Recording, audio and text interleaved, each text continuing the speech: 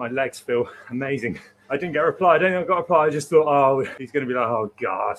Oh, no. People wanting us to race on flat. Maybe that'll be race two after the outcome hunts, how to burn out, back pedal training plan. I texted Ed earlier. Just said, mate,